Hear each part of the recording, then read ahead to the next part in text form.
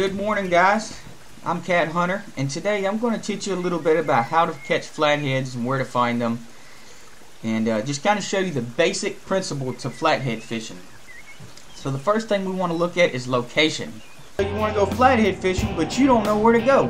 The first thing you need to do is get on the internet to confirm that there are flatheads in that body of water that you're going to be fishing because you don't want to be wasting your time fishing somebody or that doesn't even have flatheads. And there's a lot of places out there that like that that doesn't have flatheads, but it looks really good, but there's no flatheads there. So just get on the internet, look around, find where you're going to fish, learn that body of water, and learn it well. Because you got to know your body of water to be able to catch flatheads in these rivers. Say just persistence. Persistence pays off. Just staying on the water, time and time again and knowing where the flatheads are going to be and what body water has them and what body water doesn't. And the second thing we want to look at is rigging and tackle. Then once you finally find which river and body water you're going to be flathead fishing on, then you need the right tackle rig up. So we're just going to go to my Facebook page, one of our fan pages. We've got so much information on here. It's just, you know, if you need flathead information, you can always come here the basic slip lead rig is going to be your basic go-to rig for flatheads. Um, the Kahle hook is a great hook for flatheads. It's the number one hook we choose for flatheads. It's got this really wide gap that really reaches back there and gets in the corner of that flathead's mouth. He's got that big cheek. You can see we've got a, just a barrel swivel here, snelled to a Kahle hook with a bead to protect that knot right there from that 4 ounce slip sinker. And there's a lot of different rigs on the market you can use that will work. You can see over here in our comments feed, we've got all kinds of stuff over here that people's, you know, has used. So there's there's a ton of rig out there. There's a ton of, there's a ton of different hooks out there to use. You know, the the rigging part of it's going to be up to you, but like I said, the basic slip lead rig is your is your go-to rig. This is what you're going to start out using. Take a look at baits. Choosing the right bait is one of the most important aspects of flathead fishing Sometimes you need live baits, sometimes you need cut baits. Now you don't need a big boat with a big huge live well to keep bluegills alive. If you're trying to keep bluegills, bluegills are very simple to keep alive. A simple aerator and a cooler is pretty sufficient. Um, sometimes when I'm out catching my bluegills, I don't even put an aerator in there. They're so strong, especially if you're using some sort of small sunfish. Your number one bait for flathead catfish is going to be your sunfish. There's all sorts of different species of sunfish. There's large red breast sunfish like this one here. There's there's bluegills. Bluegills make great baits. We love our bluegills. And there's bullheads.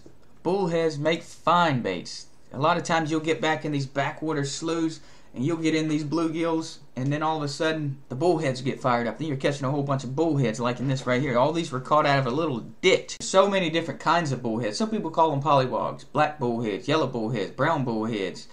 There's a whole bunch of different kinds of bullheads.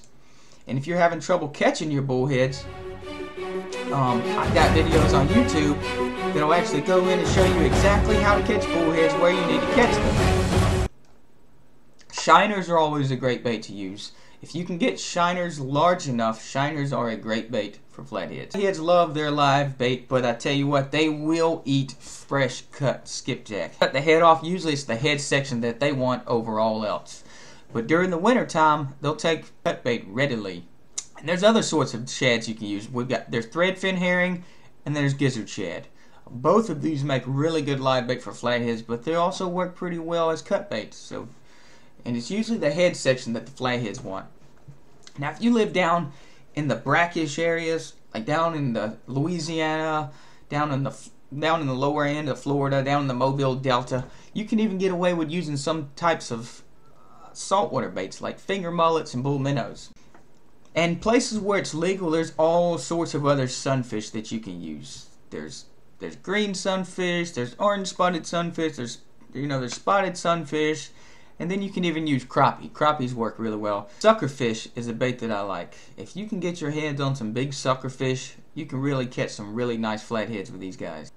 There's another bait going around that some guys are using. They call them black salties. They raise them in these little pins.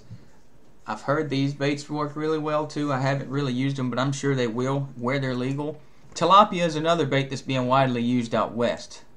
It's been stocked in a lot of lakes, it's in a lot of the canals, and a lot of guys are having really good success on the tilapia. For eater size fish, you can even get down as far as using crayfish and worms. I mean, I guess that works pretty well. I've caught flatheads on them, but you're not going to catch anything of substantial size with them.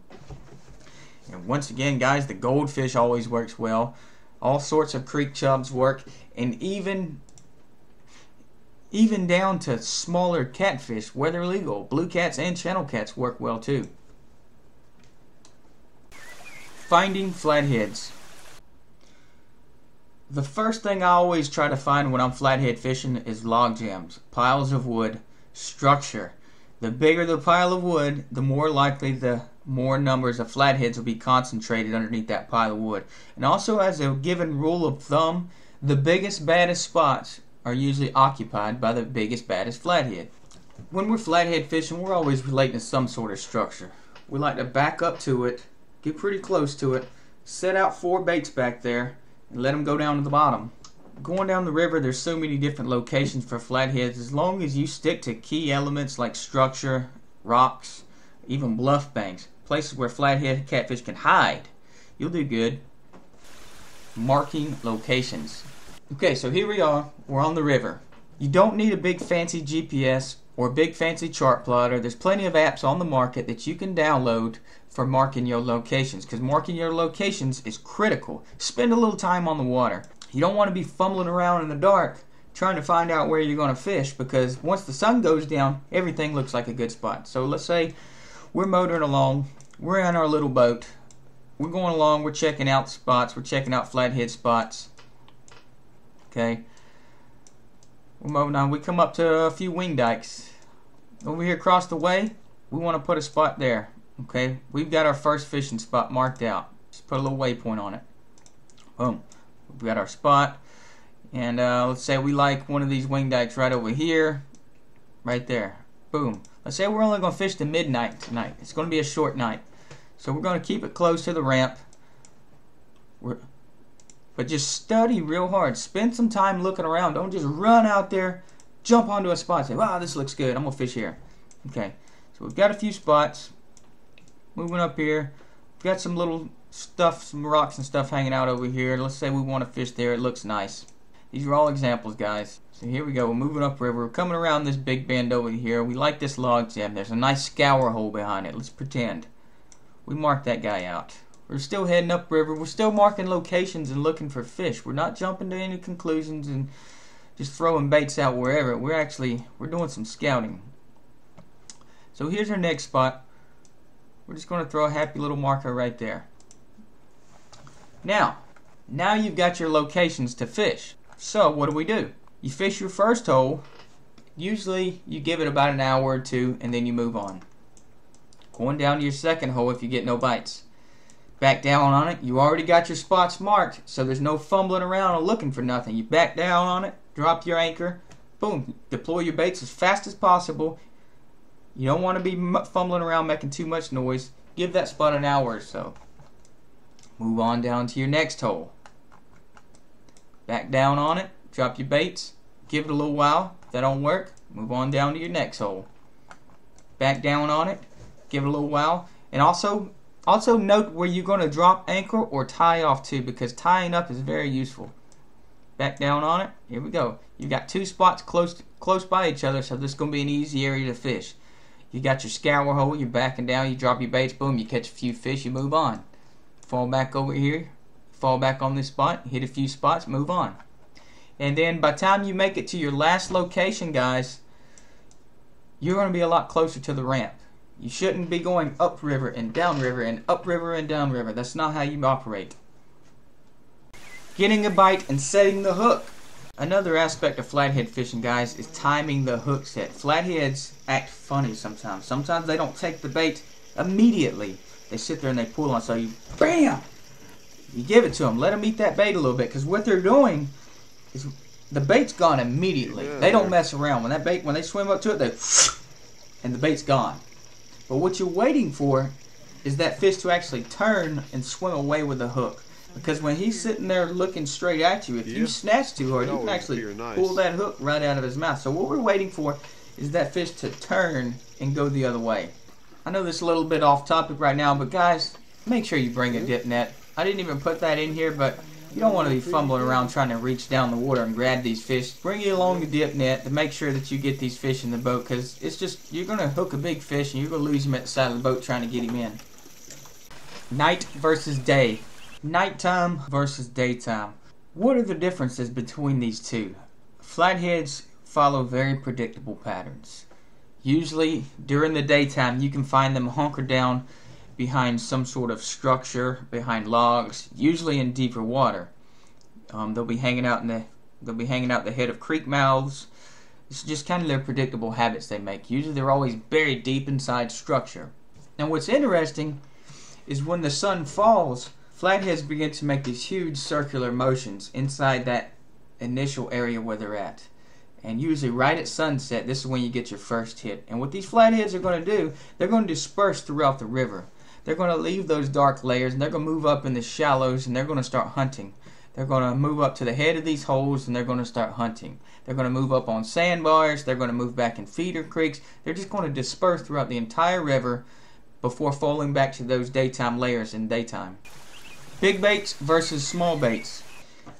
Big baits versus small baits. What's the difference? Well, the difference is if you're using big baits, you're probably not going to get a lot of bites. And if you do get a lot of bites, you're probably going to miss a lot of bites, but you're looking for the big fish. Me, personally, I like to bring along a few live, a few big baits and keep one big bait out. But as a general rule of thumb, and I can promise you guys, small baits will catch big catfish. Uh, we've had nights where we've caught over 400 pounds of catfish. Flatheads, big ones, small ones, on little bitty baits about that big, less than six inch bluegills. And you know, some nights when you don't always need big gigantic baits. I'm just saying, big baits do work. I won't turn my nose up to a big bait. Whenever I catch one, I'm like, oh yeah, that's a good one. But for most part, we're going to use smaller baits. Weather conditions and moon phases. Pay attention to the weather. Follow fronts, especially during the colder months of the year. You don't want to get stuck behind a front after a front moves through and the pressure's going down, all of a sudden the barometer flips and goes straight up. Pay attention to the weather, watch the weather, and watch your river gauges. Moon phases. This is always a controversial topic. A lot of guys will say they catch flatheads during full moons, they catch them, it doesn't matter, and it doesn't. Always remember the general rule of flathead fishing anytime you are on the water, you have a better chance of catching a flathead than you do when you're sitting on the couch. With that being said, I can guarantee you the right moon phase will catch you more flatheads. Now, whenever possible, you want to fish the new moon. The new moon is the darker moon. It's the best moon, the best moon phase to fish. The full moon, especially super moons, are always tough fishing. Okay, if you can see right over here at our little graph, the bigger the moon, the higher the tides. Nothing affects planet Earth more than the gravitational forces that that moon puts on this planet. The moon's going to vary from 225,000 miles to 252,000 miles from Earth. The closer the moon is, the gravitational forces it's putting on Earth and these fish. And flatheads are very susceptible to these lunar lunar lunar activities. And this is this has been proven. There was actually a study done in a laboratory somewhere up on the East Coast. This guy, he took a bunch of these mussels that would always open up during the full moon. It always they always opened up, and it's just there there it was their programming. So this scientist did an experiment. So he took a handful of these mussels, took them down to his laboratory deep inside his basement, and put them in an aquarium, and he waited. And these mussels remained closed. Well, during the night of the full moon, all the mussels along the beach opened up. But you know what?